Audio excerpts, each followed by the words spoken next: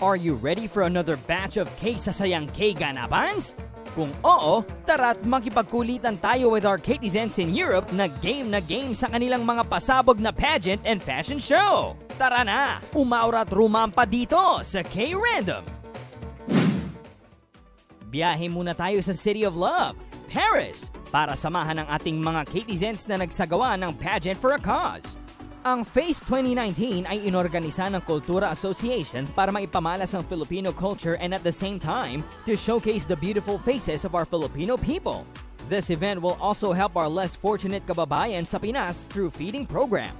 Hoping for another event like this, Kultura Association!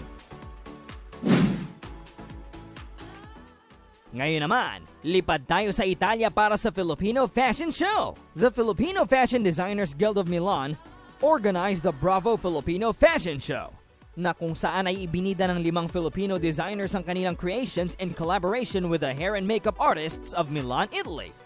This is a, a big event ng mga Pilipino. I'm very grateful na kabilang ako sa mga makeup artists and designers and this is a first time. So nakita ko na very successful siya dahil unti-unti nang nakikilala ang mga Pilipino na magagaling na mga designers at mga makeup artists. So hindi tayo nahuhuli sa larangan ng uh, fashion. Congratulations for a successful fashion runway! I-model at i-aura nyo naman ang Filipino design gowns nyo mga Katizens! Ang taray!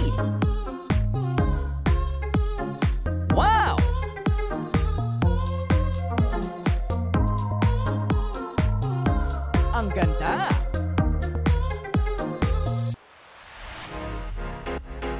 Pang Miss Universe! After the rampahan at pagandahan, it's time for another K-World Challenge. RK Edward, take it away! What's up mga Katizens? Edward Matro, ang inyong resident Katizen dito sa Abu Dhabi, UAE. Kasama pa rin ang Ali Cafe Signature French Roast. Taste the different for the real coffee experience.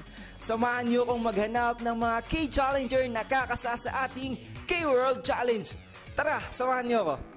Paunahan lang mga K-Challengers na i-move ang mga cups using alternate hands from top to bottom hanggang sa lumitaw ang nag-iisang kulay sa 10 cups na mayroon sila. At kung sino ang mauna ay siyang panalo. So ayun na nga mga K-Descents, kumpleto na ang ating mga K-Challengers. Let's start with Challenger number 1! Leslie from Nueva Ecija! Leng from Oriental Mindoro!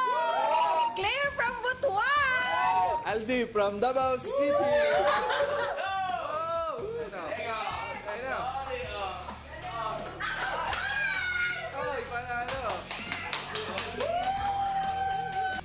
ang nanalo, walang iba kundi si Leng! Woo! At nanalo ka ng Ali Cafe Signature French Roast. Ano mga sasabi mo? Thank you po sa Ali Cafe at saka sa Key World! Kaya naman mga K-Descents, magkita-kits ulit tayo sa panibagong K-Challenge natin. See you! Bye-bye! Hope you enjoyed our Rampanalo and amazing events. Kaya tutok lang palagi sa K-Buritong tambayan ng mga OFW ganaps, ang K-Random.